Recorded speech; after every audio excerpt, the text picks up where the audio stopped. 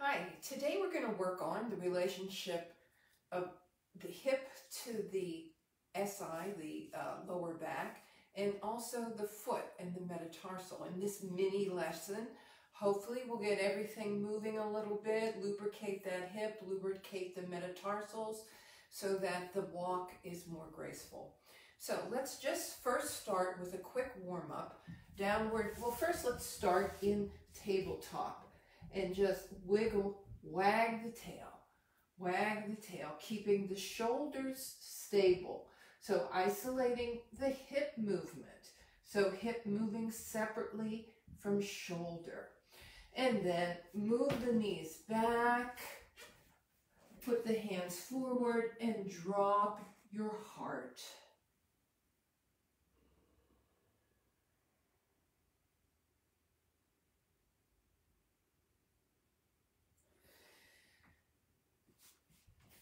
So that's a quick warm up for today. And then have your two blocks. I asked you to have a chair, but let's just start with the blocks. Curling the toes under and rolling back, okay? As we get older, our feet get stiff and work like blocks of ice. We get bunions, we get, you know, chilblains and corns and different things, but we want to keep those feet as flexible as possible. So rolling back and forth.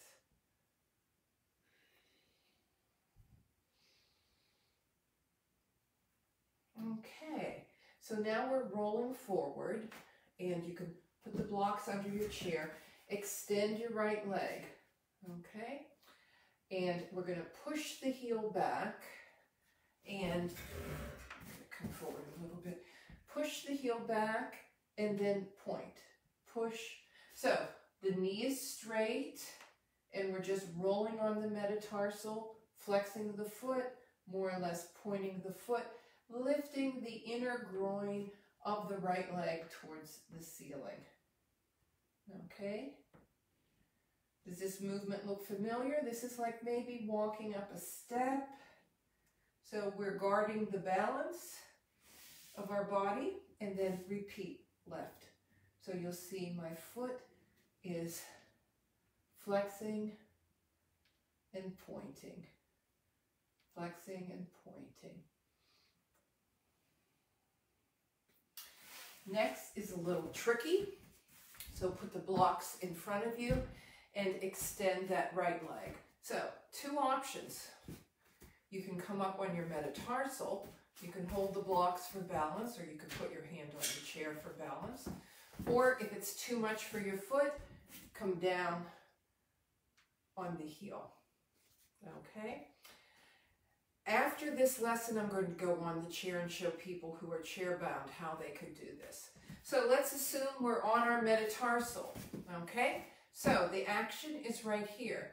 We're going to roll the buttock skin down and then roll it up. Okay? So the big toe goes down, the big toe goes as far back uh, behind your shoulder as possible. Big toe down, up. So what's happening is we're coordinating the foot movement with the hip movement and you'll feel all the bones and little fascia and muscle tissue in your SI, in your right back hip moving, okay? Moving. Unglomming. And let's go with the other foot. Okay. Alternately, you can come down. You can hold yourself up and move that foot, flip that foot. Or you can be up on your metatarsal. And here's the action. Lifting the hip, dropping the hip.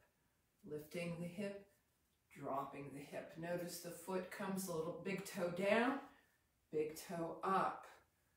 Big toe down, big toe up, big toe down, big toe up. So you feel all the small bones moving in the lower back. Okay, I'll show you what that looks like from the back. Okay, so buttock down, buttock up. It's a nice stretch for the kidney area as well. Okay, next we're going to put, we're going to use the chair. You can use the blocks, but I asked everybody to have a chair for a reason. So bend your left knee, put the knee on the chair, the foot underneath the chair. So we got nice right angles everywhere. You could hold the chair and move that right leg back, okay? Alternately, you can hold blocks. And alternately, you can turn the chair around and, no, you can't really do that.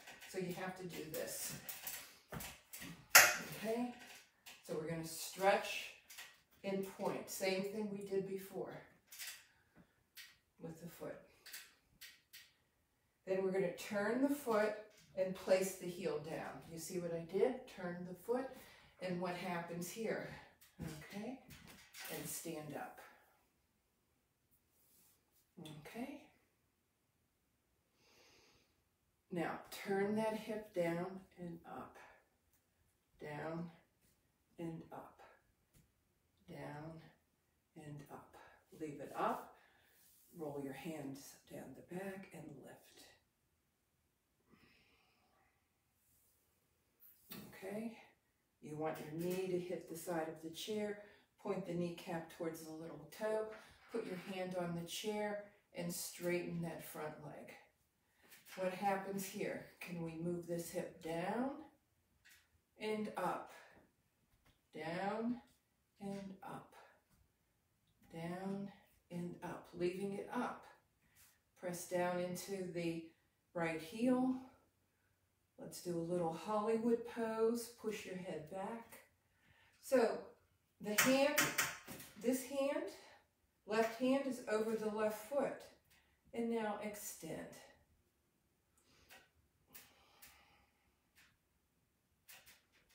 pressing into the back foot and the back heel. Now let's just move that hip forward and back again. Forward and back. Come forward, turn your toes, and put your hands on the seat of the chair. Alternately, put the hands on the block. Okay? and we're going to pull the left hip back. Left hip forward, left hip back.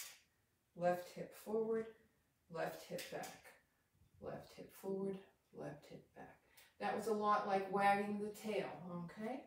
So I'm going to just show you what that looks like by switching the leg. So you see I'm moving that leg, the hip back, the hip back, the hip back. So now let's do the same sequence. So we started with our left foot forward.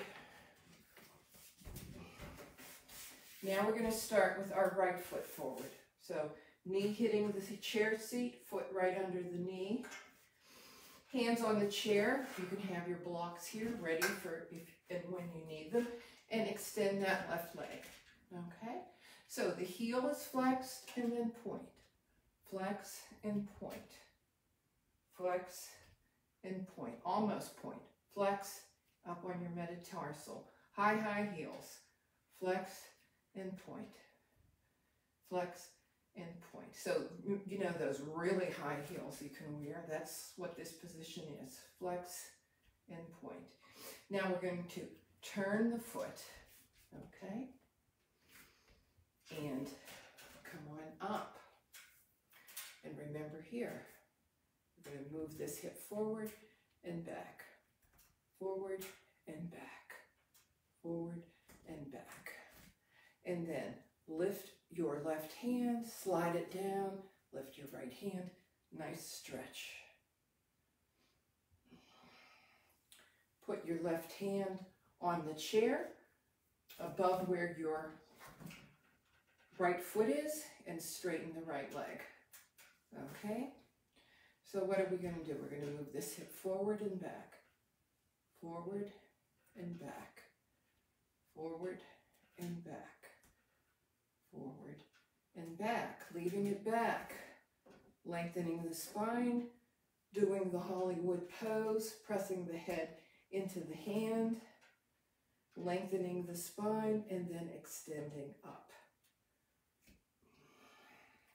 Put some weight into the left foot, left heel. Lifting up this hip. Turn down the hip. Turn towards your chair. Turn your feet. Okay? You can hold the blocks or hold the seat. You can even go down if you like, but I want a flat back, not a cashiered back. Okay? And now we're going to pull that right hip back. Pull the right hip back. I'm going to change just so you can see. So I'm pulling the right hip back.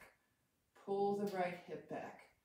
So this lengthens the hamstring and lengthens the lower back where we often have aches and pains.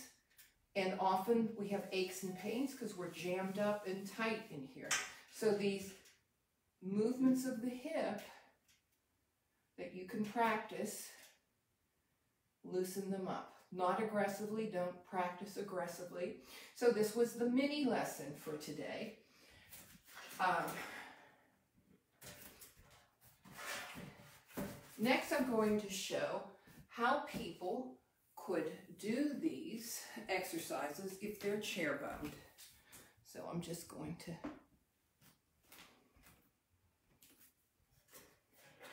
So the warm up, you want to have your chair near a tabletop or a uh, shelf and stretch.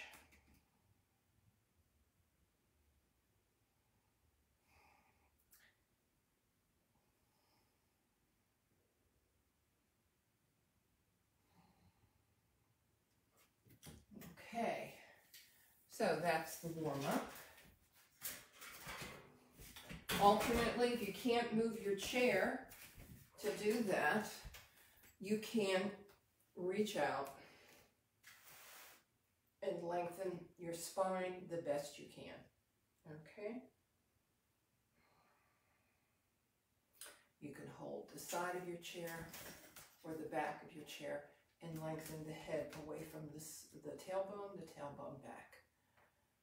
Another wonderful uh, stretch for the chair bound. Next, exercising the metatarsals.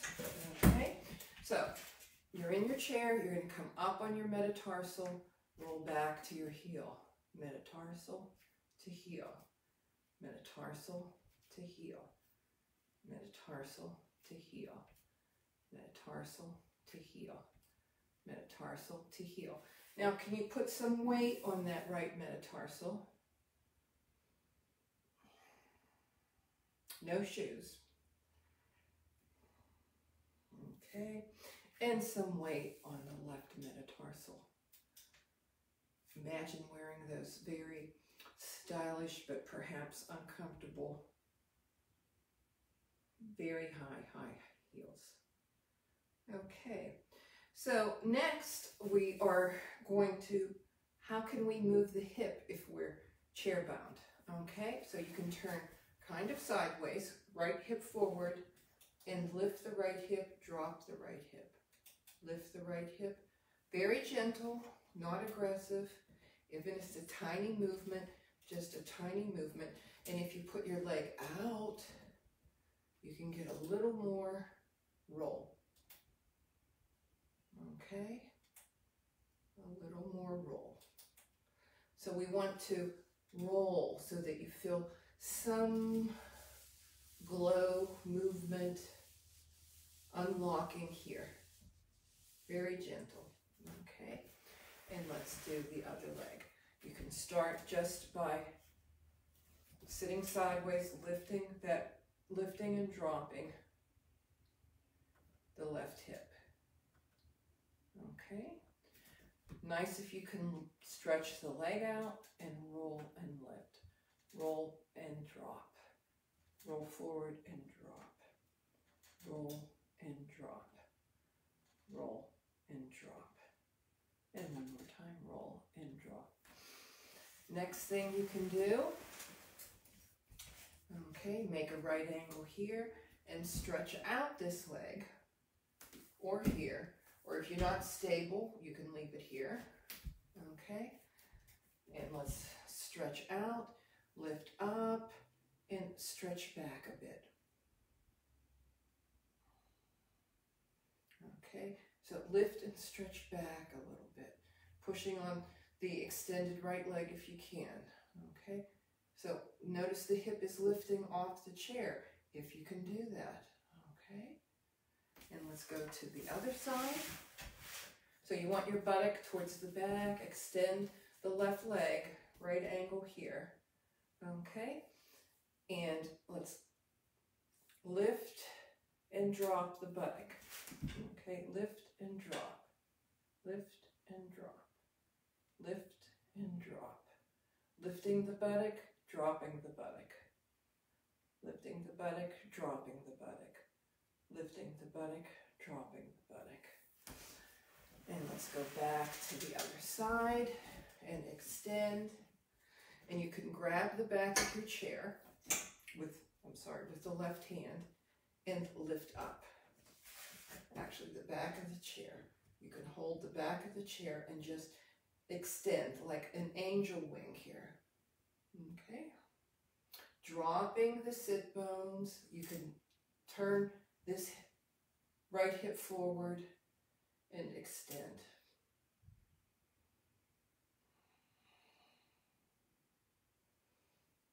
Okay, and let's turn the other way. So I have my right foot under my right knee. I have a right angle as much as I can there, and I'm extending the left leg, taking my right hand, grabbing the back of the chair, and like a sweep of an angel wing, lifting up, and then the buttock can come down, okay?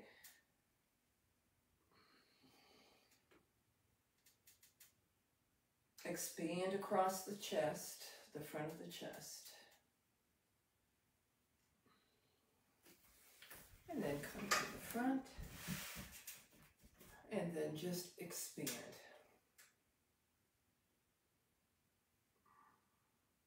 Dropping the sit bones, squeezing the upper back, pressing down the heels.